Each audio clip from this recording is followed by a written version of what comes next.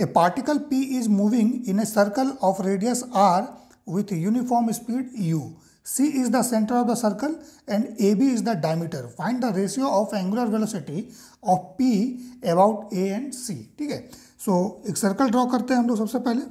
सो देखिए, इस तरह से हम लोग एक सर्कल ड्रॉ कर लेते हैं। ठीक है? कोई पार्टिकल है at point P this is moving with uniform speed u है ना? स्पीड इसका यूनिफॉर्म गिवन है सर्कुलर मोशन में। सो so, स्पीड अगर यूनिफॉर्म है डैट मीन्स इसका टेंजेंशियल एक्सलेशन जो है टेंजेंशियल डायरेक्शन में ये एक्सलेशन ज़ीरो है। सो टेंजेंशियल एक्सलेशन ज़ीरो है डैट इज़ वाई ये यू क्या है हमेशा आपका यूनिफॉर्म है एक समान है कांस्टेंट है ठीक है? So a t zero so a t अगर ज़ीरो है सो एंगुलर एक्सलेशन अल्फ़ा भी क्या होगा? ये ज़ीरो होगा ठीक है? And further angular velocity omega क्या होता है? Rate of change of angle ठीक है with respect to time means अगर कोई पार्टिकल सर्कुलर मोशन में है, ठीक है ना? मान लीजिए ये पार्टिकल पी अगर सर्कुलर मोशन में है, ठीक है?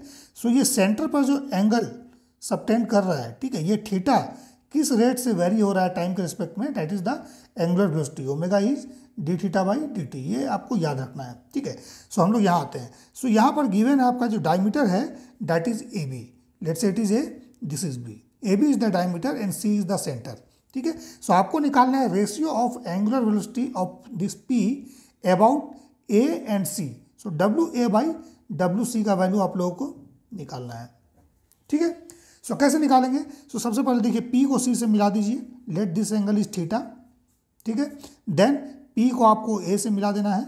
Let this angle is alpha okay ठीक है? सो अब ये अल्फ़ा जिस रेट से चेंज होगा ठीक है? That is d alpha by d t, so ये जो होगा d alpha by d t that is the angular velocity about point A ठीक है? ओमेगा ए सिमिलरली जिस रेट से ये एंगल थीटा चेंज होगा that is d theta by d t that is the angular velocity of this point P about the C ठीक है? So omega C so हम लोग को W A by W C निकालना या omega A by omega C का value हम लोगों को निकालना है, ठीक है? सो आते हैं। सो इस ट्रायंगल में देखिए। इस ट्रायंगल में अगर इस एंगल को हम लोग अल्फ़ा मान रहे हैं ठीक है? सो ये रेडियस है दिस इज़ रेडियस सो ये एंगल भी क्या होगा? अल्फ़ा होगा ठीक है? And theta is the external angle of this triangle P A C इसका एक्सटर्नल एंगल है। सो so, इसका मतलब थीटा इक्वल टू क्या होगा? अल्फ़ा प्लस अल्फ़ा हो जाएगा that is theta equal to two alpha ठीक है? या अगर इसमें कन्फ्यूज़न हो सो so देखिए ये एंगल अगर थीटा है so this is the line vertical line ठीक है? सो ये वाला एंगल कितना होगा? कोई भी पॉइंट हॉरिजॉन्टल लाइन पर एंगल कितना सब्टेंड करता है? 180 डिग्री सो ये एंगल थीटा अगर है सो ये वाला एंगल कितना हो जाएगा? 180 degree minus theta so triangle का इंटरनल एंगल का सम कितना होता है? 180 डिग्री होता है.